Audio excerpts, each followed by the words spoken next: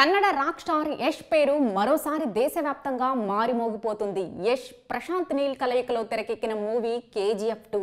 గత వారం ప్రేక్షకుల ముందుకు వచ్చిన ఈ చిత్రం బాక్స్ ఆఫీస్ వద్ద వసూళ్ళ వర్షం కురిపిస్తోంది. సౌత్లోనే కాదు నార్త్లోనూ రెండు రోజుల్లోనే వంద కోట్లు కలెక్ట్ చేస్తూ సత్తా చాటింది. ప్రస్తుతం ఈ మూవీపై సినీ ప్రముఖులు స్పందిస్తూ సినిమాకు మరింత బస్ తెస్తున్నారు. తాజాగా బాలీవుడ్ హాట్ అండ్ వివాదాస్పద నటి కంగనా యష్ పై పలు కామెంట్స్ చేసింది. ఈ మేరకు ఆమె ఇన్స్టాగ్రామ్లో కేజీఎఫ్ చాప్టర్ టూ పోస్టర్ను షేర్ చేసింది. ఈ సందర్భంగా కొన్ని సంవత్సరాలుగా భారత చలనచిత్ర పరిశ్రమ మిస్ అవుతున్న angry young man Yash. Amitabh Bachchan తర్వాత పంతొమ్మిది వందల డెబ్బైల నుంచి ఈ స్థానం ఖాళీగా ఉంది. ఇప్పుడు దానిని యష్ భర్తీ చేయబోతున్నాడు అంటూ అభిప్రాయం వ్యక్తం చేసింది.